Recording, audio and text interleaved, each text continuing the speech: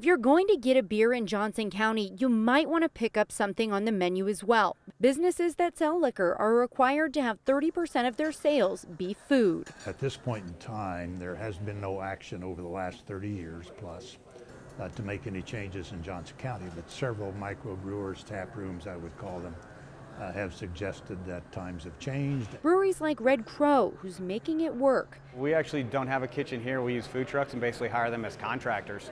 So um, you purchase the food from us and then they provide it for you and we pay them at the end of the night for their services, less the, the, all the applicable taxes, which we collect and submit them at the end of the month, just like we would if we were making it ourselves. Robert says he would like to see the law changed because other businesses like his may not have the same option. It's a business model that we've adopted and will continue to use. Uh, you know, not to, but just because it works for us doesn't mean someone else should be beholden to that same rule or that use that have to be forced into using that same model also.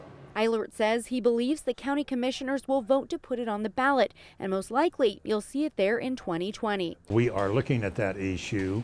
Uh, state statute, the interpretation we have so far is that uh, the election must be held in 2020, where there's a statewide ballot election and it must be held in November of that election year. A change Roberts is looking forward to and hopes Olathe will follow. If Olathe want to say we want to have people in here and you can do whatever you want and not have to have serve, serve food at all, uh, they can't don't have that option. It's kind of beholden upon the voting uh, voting in Johnson County as a whole. Sherae Honeycutt, Fox 4 News.